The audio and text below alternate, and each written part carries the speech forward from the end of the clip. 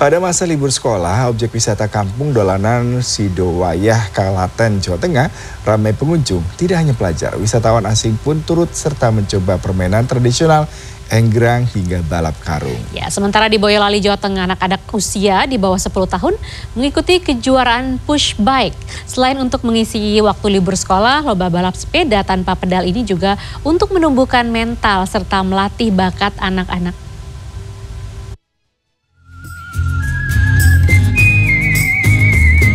Bosan liburan ke tempat wisata yang itu-itu saja, mungkin bisa coba berkunjung ke Kampung Dolan Sidowaya, Kecamatan Polan Harjo, Klaten, Jawa Tengah.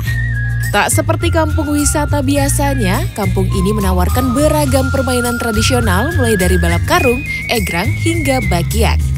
Tak hanya menarik wisatawan lokal, berbagai permainan seru di kampung dolanan ini bahkan menarik wisatawan asing.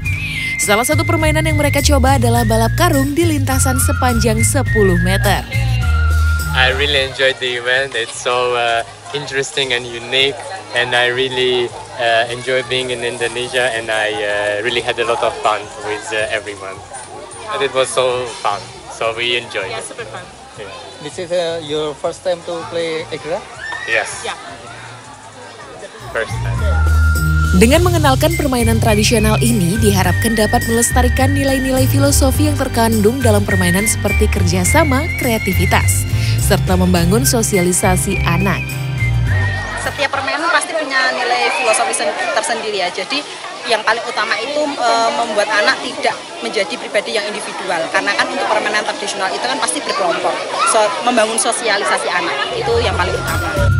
Dalam kegiatan itu, pengunjung juga dapat menyaksikan pentas seni barongan dari pelajar sekitar.